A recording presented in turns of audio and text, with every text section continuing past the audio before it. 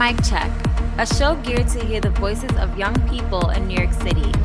Our mission is to inform the youth on major events, protests, and political agendas that matter to us the most.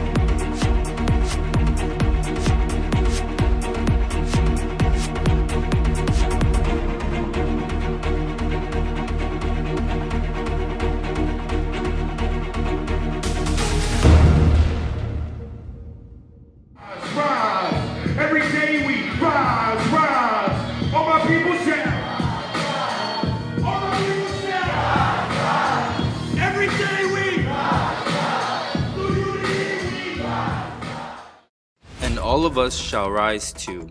On this very special episode of Mic Check, we will cover a two part episode on the two day workshop event called the Community Cop Watch Conference held in late September and the Stop and Frisk City Hall meeting held on November 6, 2013. As we begin our episode, we will first touch bases at the point in the Bronx for a quick synopsis of the Community Cop Watch Conference that focuses on training and informing New York City working class families and citizens on not only the importance of knowing your rights when dealing with an officer, but training the community as a whole to engage in holding and monitoring the police accountable for their actions when they are protecting and serving the city. Well, my name is Age. I'm the Coalition Coordinator for People's Justice for Community Control and Police Accountability.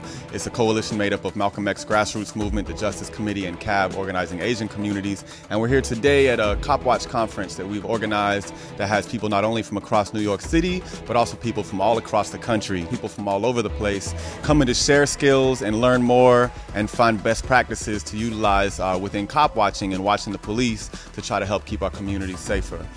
Taking also adding on to that if, if, I, if I can it's not just it's not just uh, recording and documenting police when there's an incident. It's just holding them accountable. The moment that they do the moment that they if i'm a police officer the moment i step forward to do something to you there's nine of us right there like go ahead.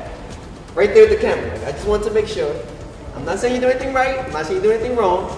But i'm just making sure i'm holding you accountable right? Accountability. The definition of cop watch is to record and document police activity. So when someone says they're doing cop watching, what are they doing? They're recording and documenting police activity. That doesn't mean that you're hounding cops waiting for them to to jump. But what that does mean is you're very observant and when something does happen, you're very vigilant and ready to go. And in order for a cop watch team to be effective in our neighborhoods, it takes more than just the people who are willing to go out and who can go out. It takes the folks that are at home on base, so the person who can call the media, who can call the family, who can go to the precinct.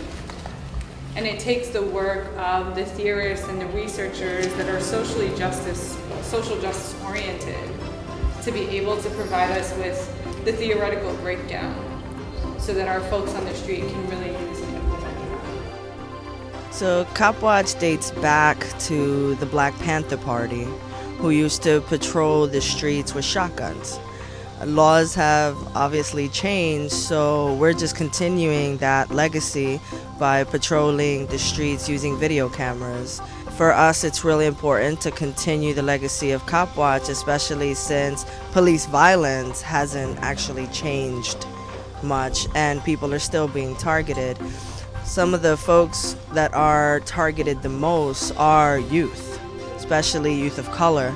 I'll give you an example. If I'm on the floor here and I'm being arrested like this, and you're recording me, right? Is standing there recording it enough? No. Dep- no, no, I want you to understand that it depends. Yeah. Because it depends on you as an individual. However far you're willing to go is what you're ready to do. I think the reason that Cop Watch needs to be understood um, by youth and engaged in is number one, because I think youth are one of the groups that are most directly affected by police violence, police abuse, police brutality. Um, as we've seen in the past year, um, or past several years. But being that young people are the ones who are getting criminalized and treated like criminals most of the time by these police, it's that much more important that young people not only know your rights and know when police are violating them, but also once you know your rights, you have the responsibility to watch out for your brother, to watch out for your sister and anybody else who's on the street getting messed with. Because realistically, it could be you next. So we really want y'all to come out, learn to cop watch, you know, gain the skills to protect your community and to save each other. And and we once we are all in that capacity, we're gonna see these police, uh, you know, acting a whole lot different towards us.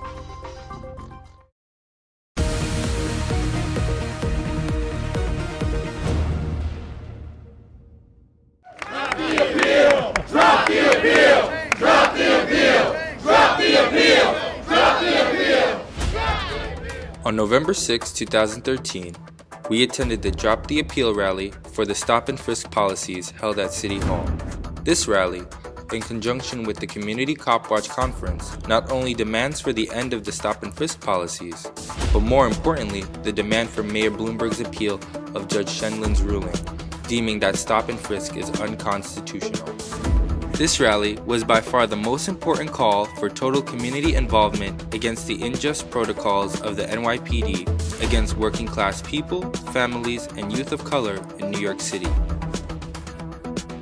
It is unfortunate that the Court of Appeals has delayed the, the much needed reform process. We are confident that the momentum of public support will carry the day. Judge Scheindlin's decision was solid. It was based on enormous evidence presented during a nine week trial, and it affirmed what communities of color have known for years that the NYPD engages in racial profiling. And it's time for it to stop. The communities that are representing here are speaking loud and clear. Drop the appeal. Support the Community Safety Act. Why? Because that's what you do as a leader. And instead of trying to let your legacy be remembered as someone who learned from their mistakes, who said it's time to unite a city, you're going down in the flames of repudiation because you want to beg people to continue a racist policy. Well, where we're at right now is that the Second Circuit Court has decided to stay the remedies. So it's not them saying that stop and frisk is going to continue, but but they stayed the remedies process. While they didn't render a decision uh, that spoke to the issue of stop and frisk, um, they have delayed the ability to implement Judge Scheindlin's decision because they felt that uh, she was overreaching in her personal concerns around the issue. And I came today because there's a, a lot of confusion about what some judges did uh, in the federal court case, and people believing that they overturned the verdict and a whole bunch of stuff. Nothing could be further from the truth. Uh, so I want to make sure that there's an understanding that we in government have heard the people. They want us to move in a direction that we are moving. Uh, they want us to drop the appeal, which uh, uh, I'm sure will happen. But even if it didn't, I'm quite sure that we'd win on the appeal, just like we did in open court. We want to make sure that the ruling that came down this year in the Floyd versus New York City uh, court case stick and that Bloomberg drop his appeal against the remedies that the judge proposed we know that there needs to be an independent outside monitor to look at the police going forward because up until now, the police have not been able to kind of police themselves internally. So you need some type of outside independent institution or person that's going to hold the police accountable. You know, the we've been working on this since the late 1990s. In 1999, we worked on a case called Daniels versus NYPD before the Floyd case same stop and frisk issues. So these communities, this movement has been building now for almost, four, you know, be 14 years at the end of this year. So we want to see results now. We don't want any more delay. We don't want any more dragging it out. We don't want any more kicking the can down the road. We want remedies for our communities, and we don't want another generation of young people to grow up thinking that part of my everyday going from home to school is to be stopped and frisked by the police. We don't want that anymore. When we read the papers, we see the messages that they are celebrating the continued harassment of our young people, right? But you have an opportunity, Michael. You have the opportunity, you know what I'm saying, to set a new message now. Uh, is it going to be politics as usual?